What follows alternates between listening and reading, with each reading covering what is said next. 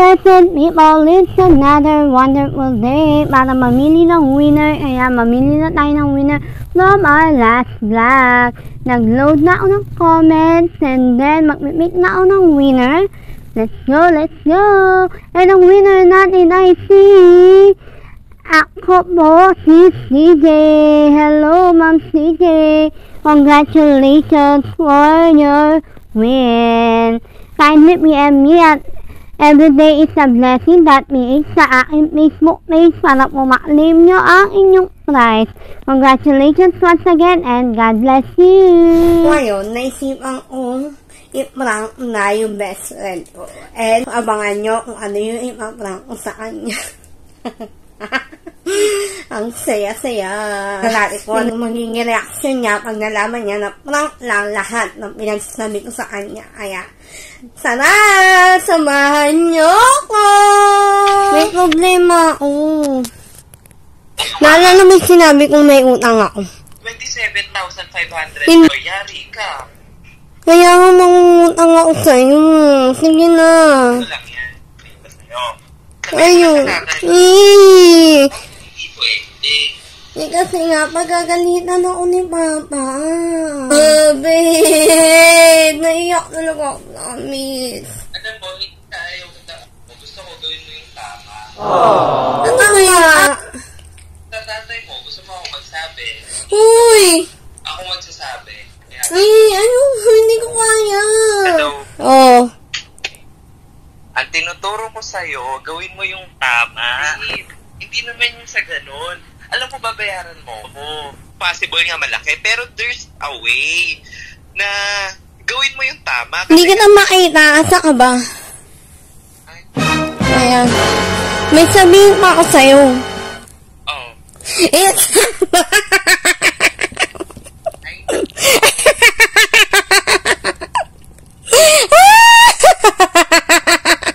Naniwala ka talaga. Naniwala ka. mm, So, eh, prank mo ako dun. eh mag-hello ka muna sa blessed people. People na prank ko. Babawi tayo next time. Noy, hindi na, wala na tayong bawian. Ano na yun eh, quits na tayo eh. Ano na Sabi, ah, yung best friend ko. Alam mo, yun yung sinasabi kong sobrang grateful ako na naging best friend ko siya sa kasi ni Hindi ka na susuportahan sa mga maling ginawa mo. Pero ang gagawin nila is gawin mo yung tama. Babe, if you're watching this, successful lang nga ang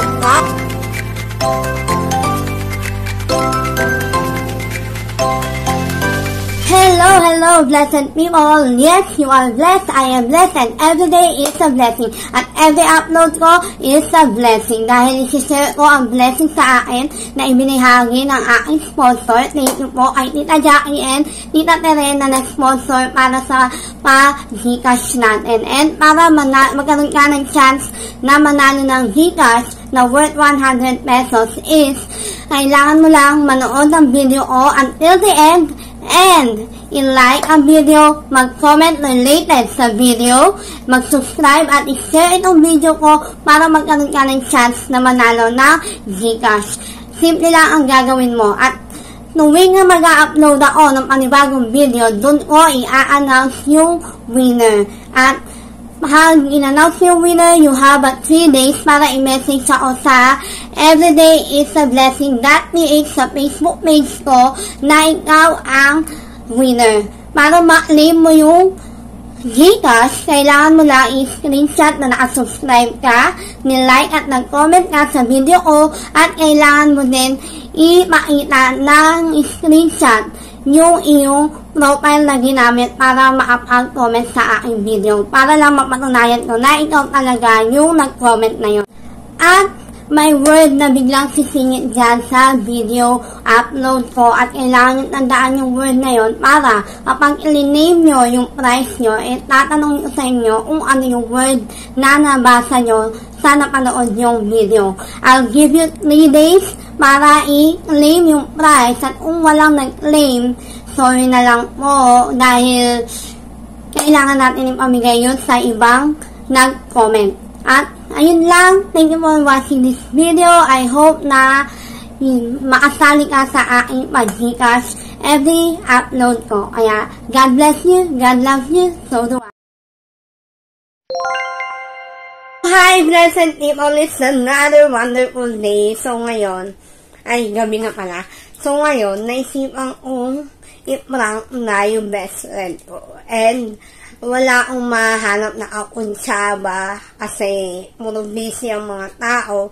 So, naisip ko, ako na lang sa sarili ko. Kaya, ngayon, abangan nyo kung ano yung ipaprank ko sa kanya. Ang saya-saya. Tingnan natin kung ano magiging reaction niya pag nalaman niya na prank lang lahat ng pinagsasabi ko sa kanya. Kaya, sana samahan niyo ko! May problema ako. Ano nga? Buntis ako. Ah, talaga? Babe, anong gagawin ko?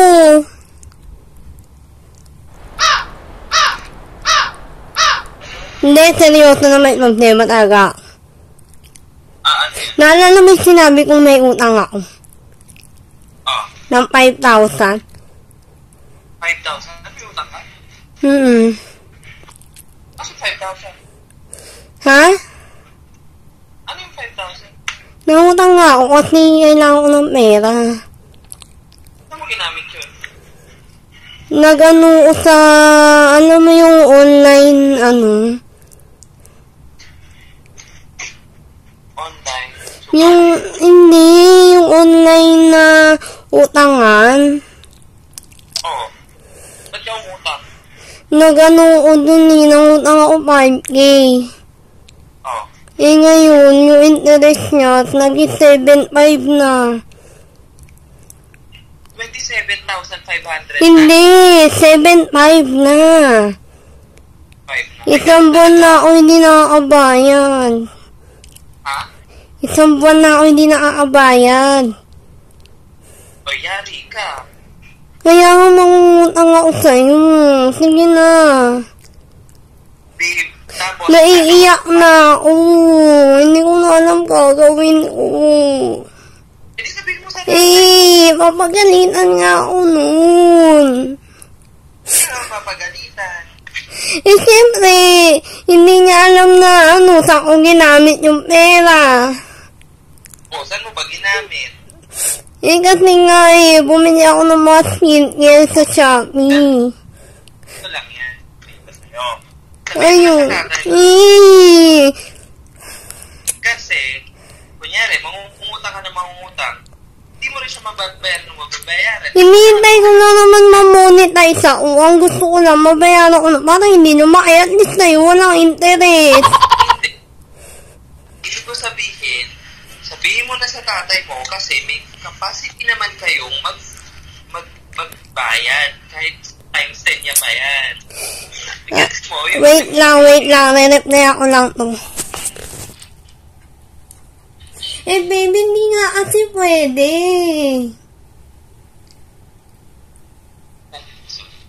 Bakit hindi pwede? Eh, kasi nga, pagagalitan ako ni Papa. Ka papagalitan nun. Mapagalitan niya ako. Sabi niya, ba't kasi bili ako ng bili? Ganun talaga. Bumili ako kasi gusto ko may makontent ako sa vlog ko eh.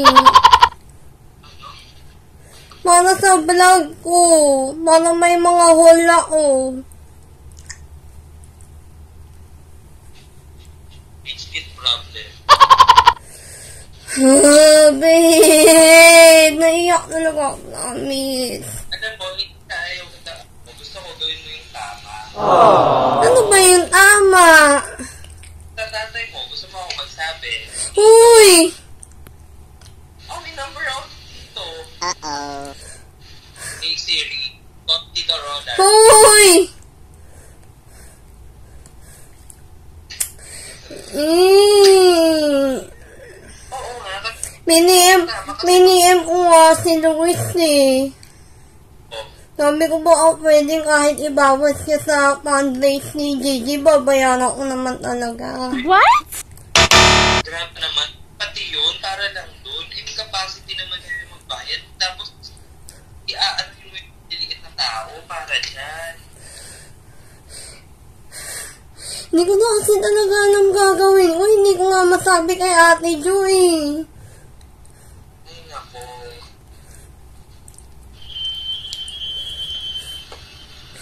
Ngayon na, promise. Ako magsasabi. Kaya, Ay, ano, hindi ko kaya. bakit? Nung, nung ano pa ako namumblema, nung isang araw. Kaya lang. Ano ba yan? Kausap mo ko tapos si Oli, kausap mo.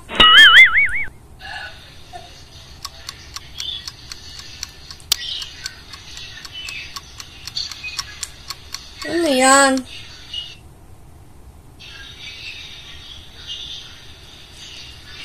Kulit ko. Ano? Ako dito. Hello. Oh.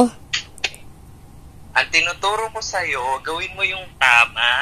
Kasi, Eh, yun na nga, babe. Babayaran naman talaga kita, promise. babe, hindi naman yung sa ganun. Alam mo, babayaran mo ko. Okay, bukod sa, syempre, alarm.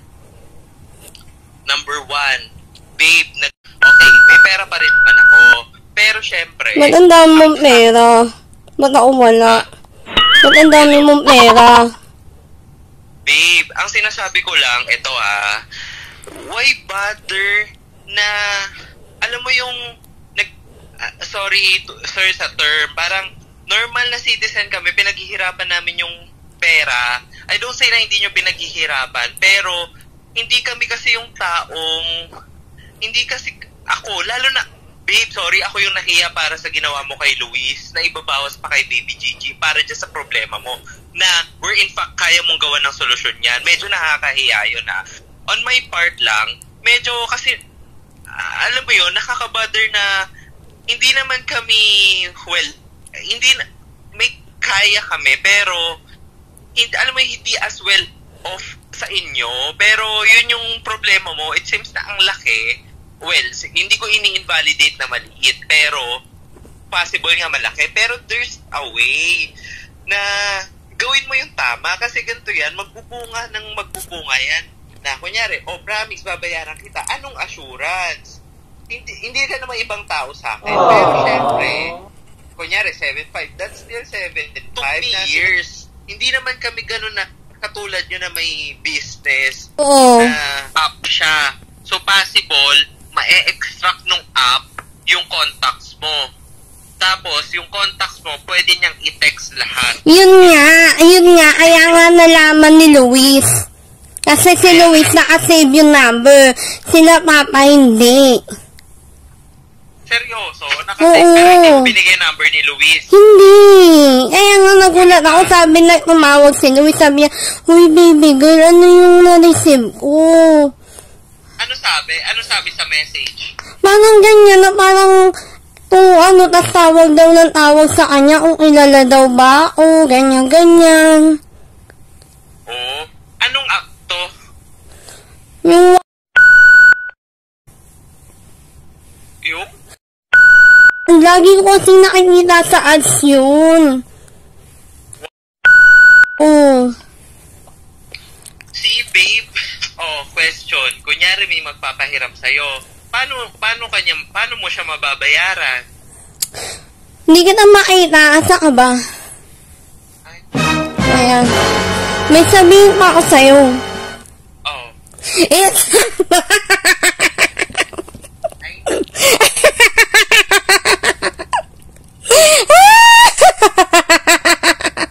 Ay, blessed people, nakita nyo naman.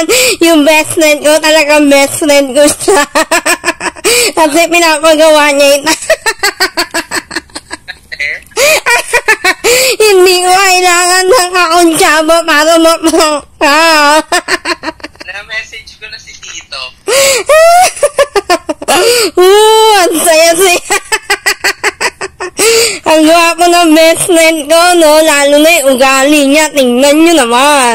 Talagang, hindi ka naman na iba sa akin, babe. Pero may tama. Hello. O, di ba? Tama naman ako. Oo naman. Definitely po nakita nyo naman kung gaano ka, Oy, ano okay, yan. vlog. Iba-vlog ko yun. Alam mo, alam mo, dami kong naisip na pang prank sa'yo. Ginunsyaba ko pa si Nea. Nea, sabihin mo makikinit, nangutang ako ng 5K sa'yo. Nagkataon, si Lolo na sugod sa ospital, sabi niya, Teka lang, may problema si Queen kasi nasugod din Lolo niya sa ospital. Sabi ko, ay, ganun ba? Ano ba? Tapos, ikaw nagsabi ka na nga na nasugod nga yung Lolo mo. Tapos, hindi na tuloy yung kay Nea. Babe, ayun ko lang 2K yun lang, pero hindi 7.5. Pero naniwala ka talaga, naniwala ka. Oo. So, effective ako. Tapos, honestly, sa, na, ang pinaka... Alam mo, ang tagal kong plinano yun. Kay Luis ka pa humingi. Alam mo ba, ang tagal kong plinano yun. Kaya napansin mo tuwing kausap kita, babe, pautangin mo naman akong 5K, babe, pengi naman 5, di ba ganon? Lagi kitang inaano na para kailangan ko ng. Sabi nga ni Thea eh, maniniwala ba yun? Sabi ko, oo, oo, inaano ko na yun lagi na kailangan ko ng pera, na ganyan, ganyan.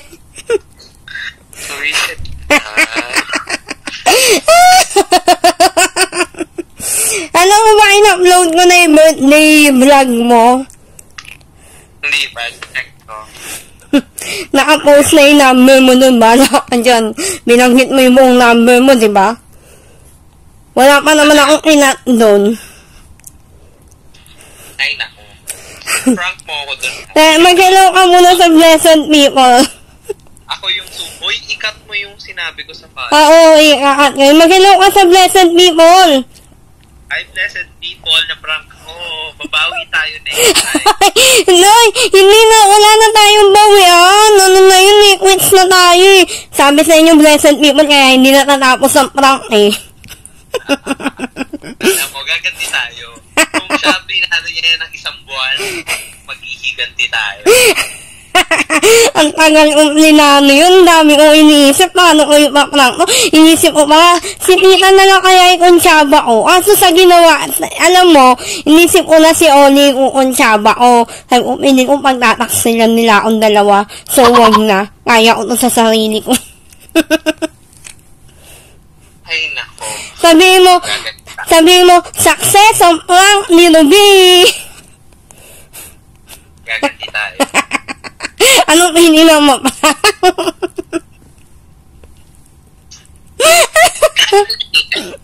Pero ang pinaka nainis ako sa'yo, yung ano, yung yung kay Luis. Alam mo ba, naisip ko na magagalit ka doon. Sa kilalang kilala na kita, kaya alam na alam ko yung sasabihin ko. Sabi ko ma kay Luis, "Lu- Baby girl, kailangan ko yung lang si Kenneth. Inisip ko pa nga, kunwari, napadala na yung mushroom si Charlotte na hindi dumating dyan. Pero baliwala yun, kaya sabi ko, sige, yung ano na lang. Paano gusto kong ito muna i-upload ko? Ay, nako. Cut mo yan, ha? so, blessed people, nakita nyo naman kung paano nag-react yung best friend ko. Alam mo, yun yung sinasabi kong sobrang grateful ako na naging best friend ko siya, sa si Nicole. Actually, si Nicole mas straightforward yun. Pero, si Kenneth medyo, ayun nga, maano lang siya, medyo straightforward din siya, pero in a way na ano mo yun, alam, sinasabi nila pag mali yung ginawa ko, sinasabi nila na ganito dapat yung gawin, kung ano yung tama, and I really appreciate them kasi yun ang mga totoong kaibigan eh. Hindi ka, hindi ka nila, ang tawag doon, hindi ka nila, parang, hindi ka nila susuportahan sa mga maling ginawa mo. Pero, ang gagawin nila is gawin mo yung tama.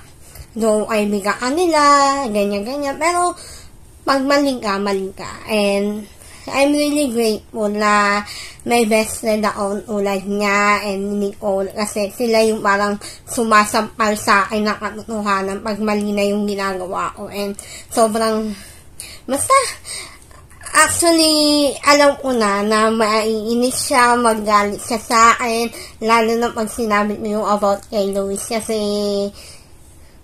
Kasi ano eh, alam niyang nangangailangan yung friend ko, pero doon pa umutang kaya sobrang na-appreciate ko talaga siya. Sobrang supportive ng best friend ko na yan. Sobrang, alam mo yun, basta super supportive niya and malabo nga yung mata ko, partially blinded ako and pag aalis kami, kasama ko siya, ano siya, uh, sobrang sobra siya mag-guide sa akin. Sobra niya akong inaalalayan. Kaya, babe, if you're watching this, successful lang aking prank. At Mira, wala pa akong kakunsyaba niyan. Kasi ikaw may kakunsyaba ka, pero ako wala. And, kailangan natin maging prepared kasi for sure gaganti talaga yan. So, dito na nagsisimula ang prank ni Kenneth and Loving episode.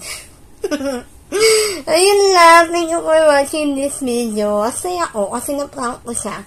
Kasi nung prank niya ako, sobrang grabe yung pakiramdam ko. Parang, hindi ko matanggap na na-prank niya ako. Kaya talagang pinag-isipan ko kung ano yung ipaprank ko sa kanya. Actually, ang tagal kong inisip yun. Ang dami kong inisip na prank. Pero, ina, inano ko na siya, pinipare ko na siya para maniwala siya na lagi ko siya nasasabi, paying 5,000, ganyan, ganyan, paying niya akong Gcash, or ganyan. Kaya kung napansin nyo dun sa birthday upload ko na nag-usap kami, nagsasabi ako pa Gcash, ganyan, ganyan. Kasi, yun na yung preparation ko sa pag-prank ko sa kanya. And, yun nga, nakabanggit ko, kinunsaba ko yung friend niya, pero nagkataon na hindi natuloy yun. Pero, this time, natuloy na siya. Actually, hindi ko naman talaga siya gusto i-prank. Gusto ko lang siyang kausap. Gusto ko lang siya kamustahin. Yun nga, kasi na-hospital yung lolo niya and nagkaroon ng some problem. Kaya, ayun, gusto ko sana siya kamustahin. Kasi naisip ko parang, lang ko kaya siya. Kaya, ayun, honestly, tinawagan ko siya nung una, pero hindi siya sumasagot. Sabi ko, sabi ko, babe, call me ASAP. Tapos, yun na, tumawag na siya. Ayun, kaya successful. And, ayun lang, totoo na to. Hashtag everyday's a blessing. Thank you for watching this video. God bless you. God loves you. So do I. Bye!